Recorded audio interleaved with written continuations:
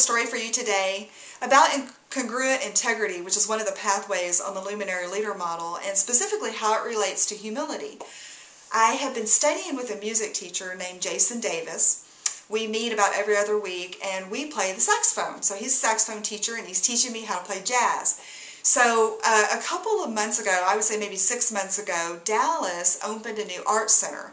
And Jason was invited to commemorate the opening by producing a show there. So my husband and I went to see Jason's show. Of course, I sat on the front row, a proud student, and um, I was blown away.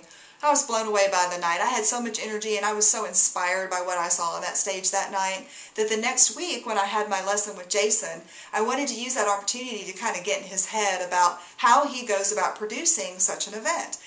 I was really surprised with what he told me.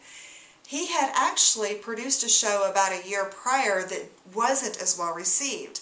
And as saxophone players, we tend to try to impress with our horn. There's a lot of tricks you can do with a horn. It's just kind of an impressive instrument. It's very well liked, very popular. And he did a show where he basically stood in the limelight, front and center, and ran up and down that horn.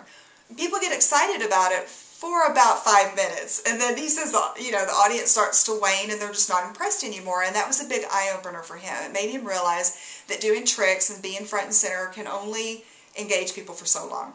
And his intention for this next show, the one that I was so impressed with, was to actually make connections. Make connections with the audience by making connections with everyone he shared the stage with. So he basically produced a conglomerate of musicians. They were all on the stage at some point in different spans. You know, we start with a little ensemble and then build out to bigger ensembles. But every moment during the night, he was making a connection with another musician, telling a story about how he met them, showcasing their instrument.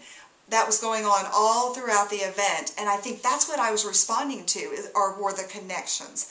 And it wasn't a domino effect. It happened very authentically, very organically. But by the end of the show, we were just alive as an audience and felt connected to not just him, but everything that was happening that night. So I thought, what a great translation for humility and how it is a representation of congruent integrity. Because a lot of times as leaders, there's a spotlight. Uh, and, and there's all different kinds of stages. It's not always about performance. But how can you take that spotlight and make it a beacon to illuminate the lives and contributions of others? And in doing that, how does it connect everybody and create an energy that fills the space, that fills the project, that fills the event, that fills the, moment. And that's what I learned in Jason's story and how I think we can connect it to our practice as leaders. So, good story.